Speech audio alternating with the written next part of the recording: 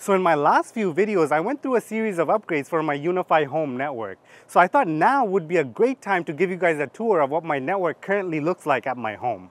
Let's start off with my internet connection. My neighborhood recently got fiber internet. In fact, some of my neighbors don't even have the cable buried in their yard. And I was quick to jump on the bandwagon as well. I've literally waited years for fiber to become available here. I've always envied those fast upload speeds. I mean, cable was good, but when I'm trying to access my network from outside the house, the slower upload speeds really limited what I could do. This cable right here is the fiber connection into the house. Since this cable is coming from the street and is exposed to outside elements, it's actually very thick for a fiber cable. Most of the thickness comes from the armor and sheathing of the cable to protect itself. Right here is where the sheathing is pulled off and you can see the thin strand of fiber going through to the other side into my network closet. It's amazing how capable these very thin cables are. My ISP can crank up my speeds up to 5 gigabits with this same cable. And yes, I am aware that the installer did a very poor job. I shouldn't be able to see the thin strand from this side of the wall. But that's a rant for another day. Let's go to the other side of this wall into my network closet. Right here is where the fiber cable comes into my network closet and is terminated on this little wall plate.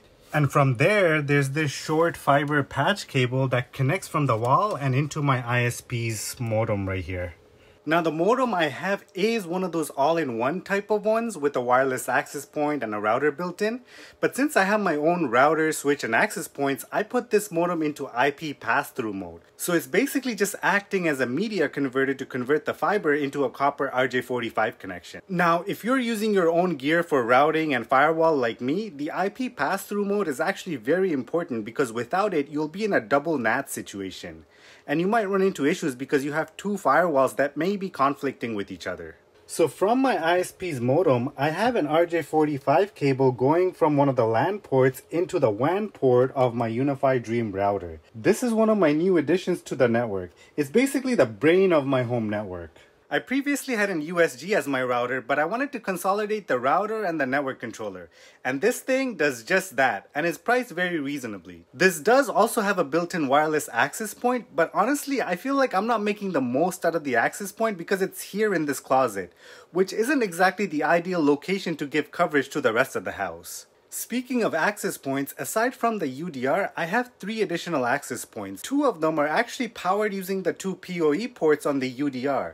For the third one, I'm using a PoE injector that came with the AP. The access points I have are actually a bit outdated. I have two UAC lights and one UAC in wall. Now, yes, there are newer Wi-Fi 6 and 6E APs out there, but the advantage of those ones only show up in high density areas where you have lots of Wi-Fi devices. In my house in total, I have about 60 devices, so these APs are more than sufficient for my needs. Also, you need compatible devices to use Wi-Fi 6 and 6E, and I don't have many of those yet. Now one thing I can do in the future is potentially get a long range AP and reduce the total number of APs in the house. But for now, this works completely fine. Now Wi-Fi in our house mostly just gets used on portable low performance devices like phones or tablets. Anything that needs stable throughput is actually connected using wired connections. For that, I have an RJ45 cable going from my UDR into a 24 port gigabit switch which is right here. And most of my wired devices are connected to this switch. This includes things like my video streaming devices, my NVR, a printer, a couple of computers, and some other miscellaneous devices. This is a slightly older version of UniFi's 24-port switch, but for now it has lots of room for expansion, so I'm not really in any rush to upgrade this. Speaking of wired connections, all the Ethernet jacks within the house terminate into this patch panel here. This house actually didn't have Ethernet built in, but one day I discovered that all the phone jacks in my home were actually using Cat5e cables. So I just took advantage of those those along with a few new cable runs and retrofitted the house with ethernet in rooms where I needed it. Going back to my 24 port switch, it has two SFP ports which are technically meant for aggregated uplink connections,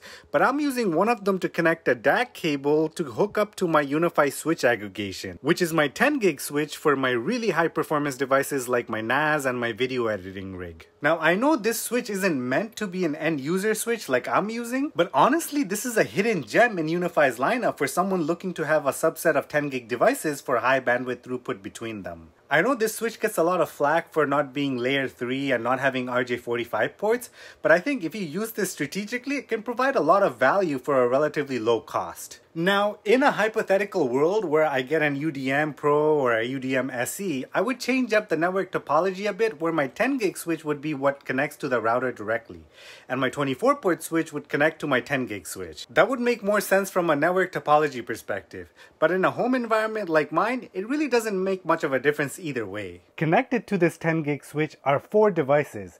Three of them are right next to the switch, so they're connected using DAC cables. And one of them is another room. For that, I actually ran a fiber cable and connected using fiber transceivers. Out of the three devices in this room connected to this switch, one is my Synology NAS.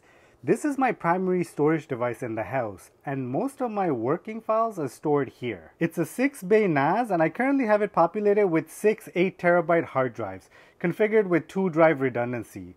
So effectively, I have roughly 30 terabytes of storage after factoring in all the overheads. The second device I have connected to this switch is this machine that I repurposed as a TrueNAS server. It serves as a supplementary NAS in my environment. I basically had an old computer and a bunch of hard drives laying around, so I just put them to use to put this together. The third device in this room connecting to my 10 gig switch is a Windows computer that I run certain services on. All three of these devices transfer a lot of data between each other for scheduled tasks and backups and and stuff. So having a 10 gig connectivity between them speeds up a lot of these tasks. The fourth device that's connected using the fiber cable is actually my desktop computer in my home office. I actually recently made a video showing how I ran the fiber cable to my office, so check that out if you haven't already. For all these 10 gig devices, I purchased some Mellanox Connect X3 network cards from eBay. They work seamlessly with my SFP Plus only 10 gig switch and was a fraction of the cost of any RJ45 10 gig cards. So that's pretty much all the networking gear in this room. Aside from these, I do have a few other things in this room, like my NVR. It's a Lorex 8-channel NVR I got from Costco that came with 8 cameras. Let me know in the comments if you want me to make a video about the security cameras I use.